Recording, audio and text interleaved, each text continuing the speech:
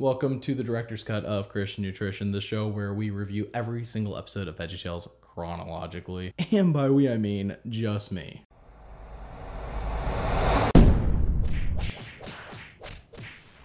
Lyle the Kindly Viking was released in March of 2001, and let me tell you, I feel bad for anyone who saw every single VeggieTales episode, with the last one being Esther.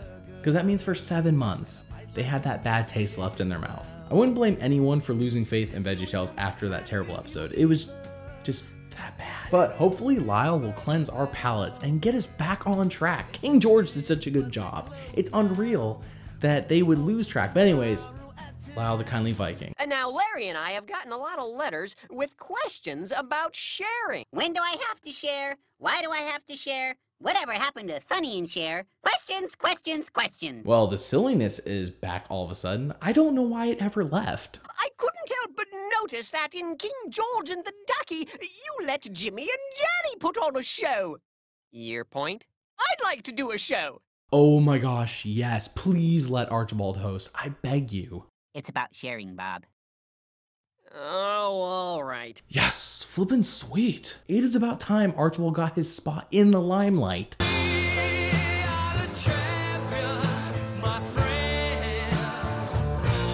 The fireplace! The chair! The chair! The wardrobe!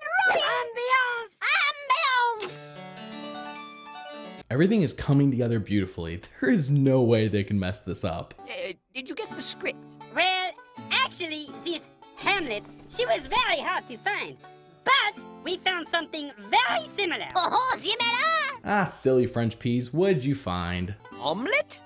Just the name, she makes you hungry, no? No argument here. Let's see what a play based on breakfast food is all about. Basically, we see a kingdom that is in desperate dire need of eggs, yet Prince Omelette, yes, his name is Omelette, doesn't want to share the little amount of eggs that are left. But soft, it is Ophelia.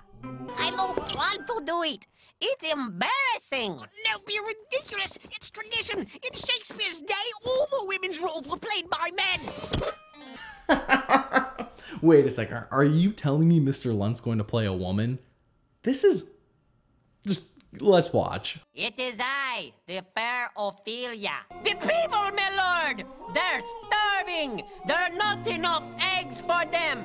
Meanwhile, you feast on eggs every day. The prince doesn't understand why he would share his eggs. After all, he likes eggs, and there are only so many left. And he's the prince. To eat or not to eat? That is the question. Would you like to share my game? Well, sure. Playing's the thing. To be. Uh, not to be. Drat. You called your highness? No, uh, not yet. My mistake. Oh, servant. You called your highness? Seriously, is this not the best rendition of any Shakespeare play you've ever seen? I mean, why can't VeggieTales just do a series where they sillify every Shakespeare play? I would pay good money for that. I have decided to share my eggs with you. But, sire, there aren't enough eggs to go around. Uh, they're the little white round things that uh, come out of chickens. What? We thought those were ping pong balls. We got plenty of those. Where might I find some toast? Get thee to a bakery. Did you understand any of that? Not a word. What are they talking about? That was wonderful. I could literally watch that 10 more times. I don't even need to see Junior as a Viking anymore. Hamlet, I mean, uh, Omelette, is the best play of our generation. And now it's time for Silly Songs with Larry, the part of the show. Stop! Stop! Don't even think about it! And now it is time for Classy Songs with Larry, the part of the show where Larry comes out and sings a classy song. Interesting. Let's see if Archibald is onto something here. One day, while he was waiting for the trolley, he had a hat. My high silk hat.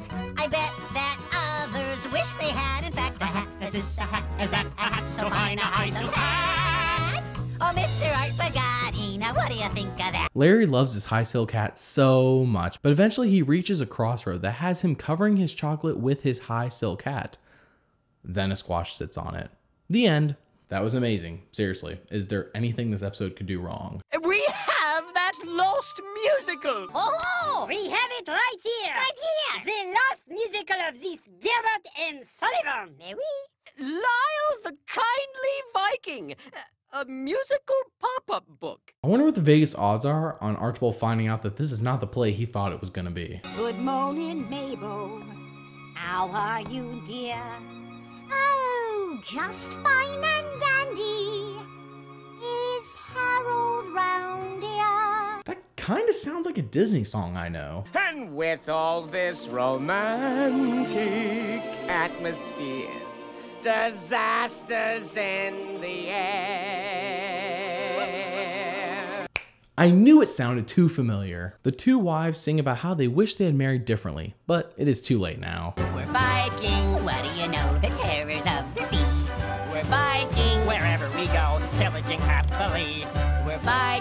After that amazing musical number, we see all the loot that the Vikings bring back from the local monastery. Archibald clarifies to us how they were essentially stealing, which is a big duh, Archibald. We are then introduced to our hero, Lyle. You missed another raid, Lyle. I know. I was making stuff. Oh geez, Junior, I will admit, in recent episodes, you've gotten a lot better, to the point where you're not my least favorite character anymore. But please, I beg of you, do not ruin this episode. It's it's going perfectly so far. Lyle never went on the raids. Instead, he'd stay home and make crafts.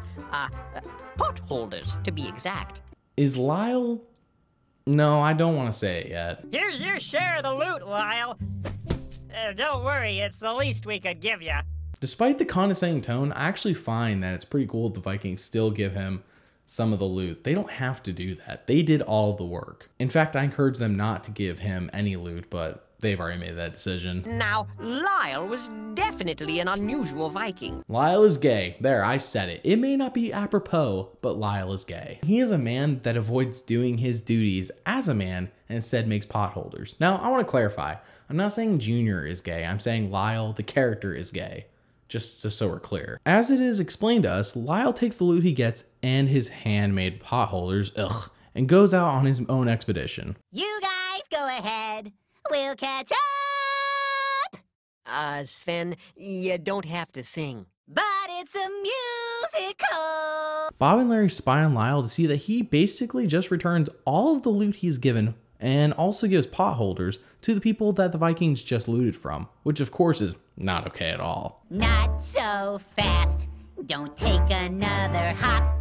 We know where you've been, and we think it's gotta stop. Uh oh, busted. Bad boys, bad boys, what you gonna do? What you gonna do when they come for you? But when I share, I get my share of friends. Doodaloo, doo doo doodaloo, doo Or maybe Lyle is just kooky and not gay. I don't know anymore, to be completely candid with you.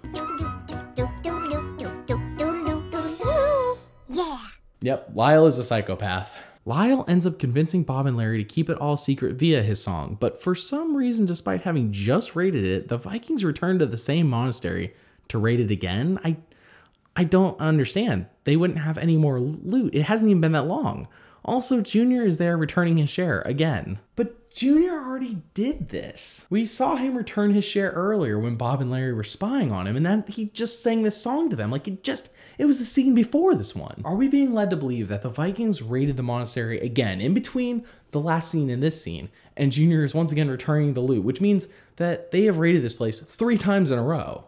In a short time span nonetheless. Is there so much at this monastery to be raided? Are they just like not able to fit it all on their boat in one trip and they're just like, we gotta go back for more, you know? This all seems quite unrealistic, even for Veggie Tales. Bob and Larry spot Lyle return the gold, but no one else has yet seen Lyle do this, which causes a classic sitcom case of Bob and Larry trying to make everyone not notice their friend is doing something he shouldn't be.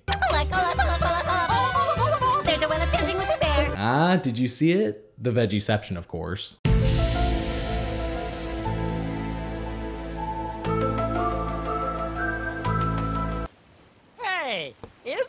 Lyle? Mm-hmm. And he left something with those monks. Uh oh. Doubly busted. Bad boys, bad boys, what you gonna do? What you gonna do when they come for you? What do you think you're doing? I was, Giving them stuff back. um, yeah. It's over for Lyle. He doesn't stand a chance. Abandon ship. The storm gets worse and worse and capsizes both ships. Lyle's monastery friends help him get to shore. They don't want to help the other Vikings, but as we realized earlier, Lyle is cuckoo for Cocoa Puffs. Everyone ends up being saved by Lyle and friends, which of course has an instant effect that causes rapid character development. Thank you, our new friends. You saved us from the sea. See what I mean? That was very rapid character development. Though I do wonder, when are they going to pillage again? My money's on next week. The lost musical of uh, Gilbert Jones and Sullivan O'Kelly? What? Well, that's not right. I knew it, not the right story, but you have to admit, Archibald, it was pretty good. I could have your union cards for this, you know. You'll never work on the West End again. Remind me to not ever upset Archibald. Ever. We're over here by QWERTY to talk about what we uh, uh, learned today. That is a meme waiting to happen. Someone make it. If, if you don't make it, I'll make it. Someone's making it. I will use it constantly. Bob and Larry sum up how sharing won't get you more stuff, but it will get you more friends, which is what is actually important.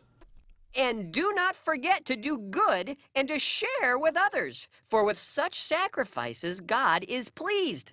Hebrews 13:16. God made you special and he loves you very much.